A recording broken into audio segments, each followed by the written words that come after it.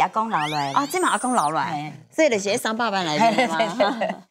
三百万有阿公你字画、用书法，有乾隆爷的碗。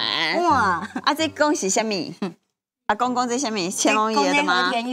啊，这嘛乾隆爷吗？嗯，哦公伊咧把玩的呀。啊这是乾隆爷把玩的，哎呦我起来啊，手会底下咧把玩的啊，就是一些把玩的小物件哎呀啊。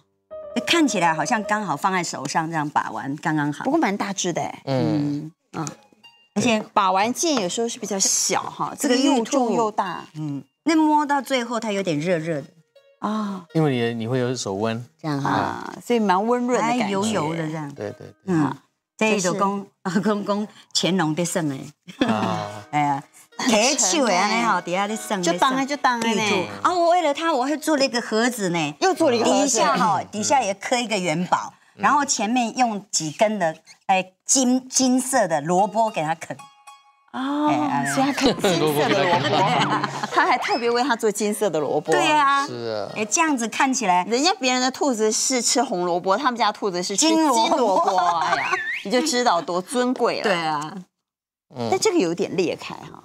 对，那是裂石吗纹都会裂了，啊，裂它有吃一些东西进去，嗯。就表示这件也有一点点年代有年纪了。哎哦有年纪了，嗯，不啊错，的。可，能也是老东西。啊，而且从那个雕工来看，我觉得它蛮老的哎，对，还不错，嗯对应应，该讲不像是机器手雕的，刻的，嗯，对，蛮手工的 feel。蛮手工哦。有机会，阿公，波比姐，请见价。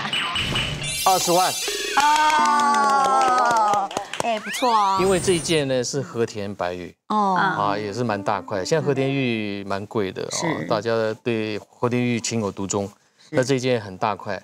之外呢，它还是有点年代的啊，我们可以看它的一些雕工，还是以前的老雕，嗯啊，大概是清代的东西，所以这件不错的，那我这件不错如果继续放这个如意，这个会不会增值？这个会增值啊，这个会增值哎，因为东西越来越少，像这么大的和田白玉的玉件是很少的，嗯，哎，越来越少。现在和田，因为和田玉出来都是小小的一块一块小小的像这么大么大的很少啊，很少啊。